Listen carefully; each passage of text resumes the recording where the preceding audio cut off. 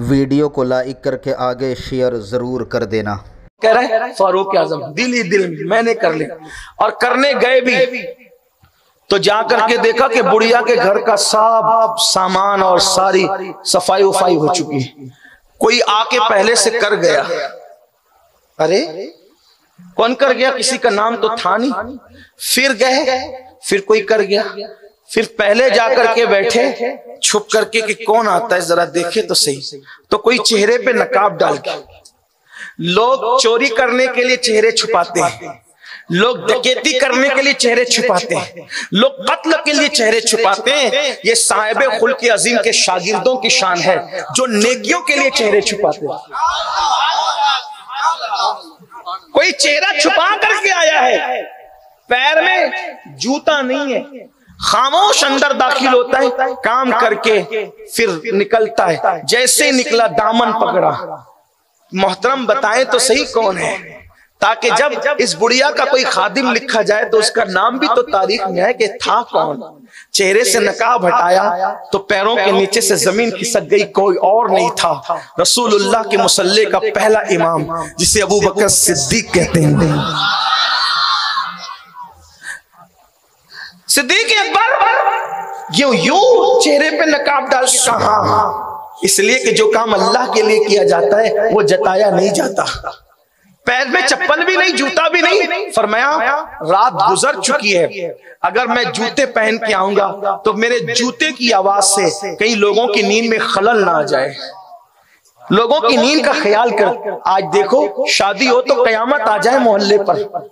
इतने ज़ोर से ढोल पीटेंगे, डीजे बजाएँगे, न बीमार का ख्याल, न पढ़ने वाले बच्चों की स्टडी का ख्याल, न किसी और का ख्याल। कहाँ है? इसका मतलब यह है कि जो दिन रसूलुल्लाह लेकर आए थे, उस दिन से अपना ताल्लुक कितना है?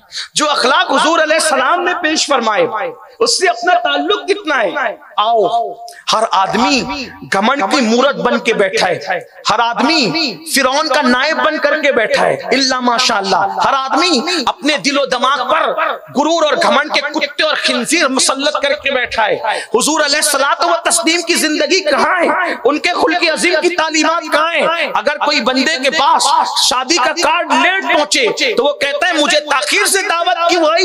मैं उसकी शादी में नहीं जाऊँगा। क्योंकि उसने मुझे देर से दावत दी। ओ घमंड का पुतला तुझे देर से दावत मिली है। मेरे नबी की शान तो ये थी कि अगर मदीने मुनव्वरा के बच्चे हुजूर को चलते चलते हाथ पकड़ के कहते हुजूर हमारे घर चल के खाना खा लीजिए। और हुजूर सलाम को भूख लगती तो नन्हे बच्चों के हाथ पकड़ने की बुनियाद हुजूर बड़ी सादगी से उनके घरों की तरफ़ चल जाया करते थे। आपसे पूछता हूँ, वो अखलाक कहाँ रह गए? वो अखलाक ज़िंदगी में कहाँ है? लेकिन ये बात ज़रूर कहूँगा, आज अखलाक बयान करने के लिए है, अमल के लिए कहाँ है? आओ हुजूर के अखलाक की तरफ़ रुजू करो। मेरे आका सलाम फरमाते इस पर मैं अपनी बात मुकम्मल कर लूँगा। आका फरमाते हैं, मेरे अल्लाह ने मुझे अदब सिखाया। मेरे अल्लाह ने मुझे अखलाक सिखाए। मेरे अल्लाह ने मुझे अखलाक सिखाया, अदब सिखाया। मुझे अदब सिखाने वाला मेरा अल्लाह है। इसीलिए हुजूर की खसूसियत है सल्लल्लाहु अलैहि वसल्लम कि मेरे आका सलाम किसी इंसान के शागिर्द नहीं है। मेरे आका डायरेक्ट अल्लाह के शागिर्द है। और ये खसूसियत किसी को हासिल किसी को हासिल ये सिर्फ़ मुस्तफ़ा जान रहमत के शान। वो डायरेक्ट अल्लाह रब्बुल इज़्ज़त के शागिर्द आका फरमाते अल्लाह ने मुझे तीन बातें सिखाई। फरमाया नंबर एक जो तुझे तोड़े तू उसको जोड़। हाय काश ये उम्मत जोड़ने का काम आओ जोड़ो। और अल्लामा अरशदुल कादरी रहमतुल्लाह अलैह तो फरमाया करते थे सबसे आसान अगर काम करना है तो सुन्नियों के लिए काम करना है। क्योंकि दूसरे फिरके सब अठारह के बाद है हिंदुस्तान में। तो उनको अगर काम करना है तो पहले लोगों को कहीं से अपने तोड़कर अपने से जोड़ना पड़ेगा। और यहाँ तो सभी सुननी है, सिर्फ़ इतना करना है, प्यार से चुमकार कर अपने करीब कर लो, काम करना आसान हो जाए। है ना? कितना आसान है। तो मेरे आका सलाम की तालीम है जो तुमको तोड़े, जोड़ो। आए जोड़ने का काम कर। और ये भी हदीस पाक का मफहूम है। जो बंदों को जोड़ता है वो अल्लाह से जुड़ जाता है। अल्लाह से जुड़ने का आसान तरीका बंदों को जोड़ो। अल्लाह की रहमत से जुड़ जाओगे। बल्कि सैयदना इमाम जाफ़र सादिक तो फरमाते हैं कि रूए ज़मीन पर जितने जर्रात है उतने अल्लाह तक पहुँचने के रास्ते हैं। और अल्लाह से अल्लाह की तरफ़ पहुँचने का सबसे करीबी जो शॉर्टकट रास्ता है वो अल्लाह के बंदों की खिदमत है। अल्लाह जितनी जल्दी मिलता है उतना किसी काम से नहीं मिलता। तो फरमाया जोड़ो। आका फरमाते मेरे अल्लाह ने मुझे हुक्म दिया जो तुझे तोड़े तू उसको जोड़। फिर फरमाया जो तुझसे दूर भागे तू उसके करीब जा। बहुत नफ्स पे गिरा गुजरता है मेरे भाई। दूर जाने वालों के करीब जाना आसान नहीं। हाँ लेकिन जो चला जाए फिर उसके बारे न्यारे हो जाए क्योंकि हजूर सलाम की अजीम सुन्नत है। फरमाया जो तुझसे दूर भागे तू उसके करीब जा। और फिर फरमाया जो तुझे महरूम करे तू उसको अता कर। अब हजूर की ये अखलाक देखेंगे? जनाब अबू सुफियान जब तक इस्लाम नहीं लाए थे ठीक? दस साल तक कमोबेश लड़ते रहे हजूर सलाम से।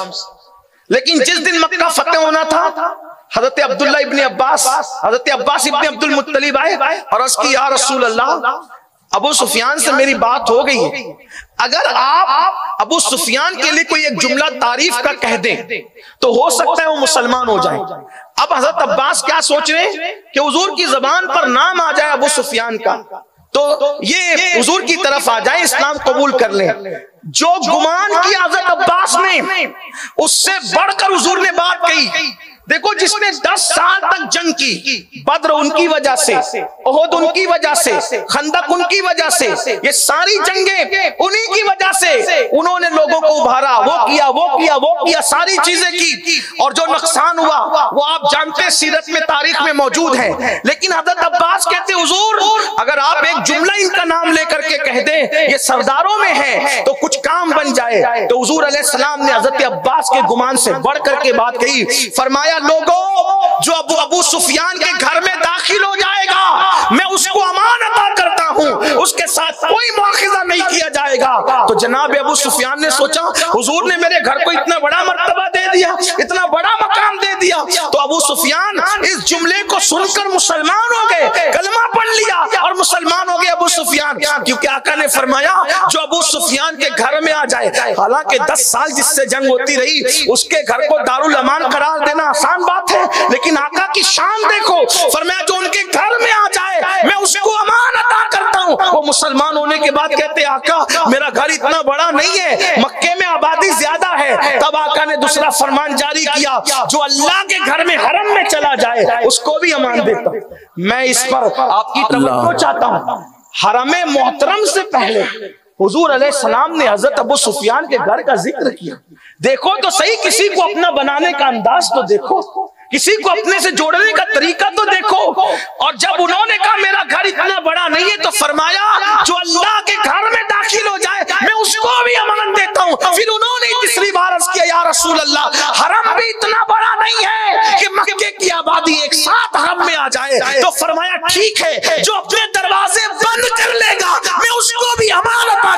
हूँ उसके साथ कोई मौके ना। सुबह अल्लाह नारे तकबीर नारे रिसालत औलाद से आज़म। मेरे आका सलाम के दीवानों इससे हमें पता चला कि अगर मुखालिफिन को अपना बनाने के लिए जो है वो इस तरीके से जो इज्जतें दी जाए तो हम लोगों को अपने करीब कर सकते हैं। लेकिन आज तो अपने सगे भाई से अपनी बातचीत बंद है।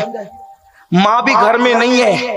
माँ को बहनों के यहाँ पहुँचा दिया गया है किस अखलाक की हम बात करते हैं? जो कौम अपने बूढ़े माँ बाप के साथ अच्छा सलूक न कर सके वो दुश्मनों के साथ अच्छा सलूक करने के लिए जिगर कहाँ से लाएँगे? दिल का